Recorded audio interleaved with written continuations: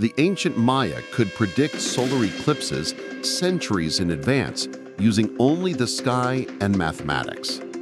Over a thousand years ago, Maya astronomers tracked the sun, moon, and planets with incredible precision. Their secret tools were the 260-day Tzolkin and the 365-day Ha'ab calendar. Combined, they formed the calendar round, a repeating 52-year cycle.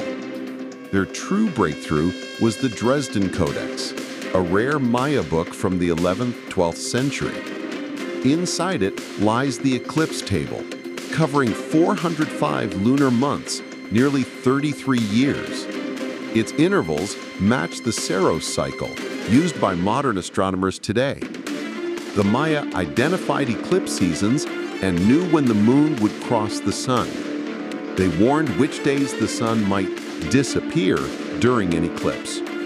With no telescopes and no metal tools, they relied on generations of sky watching.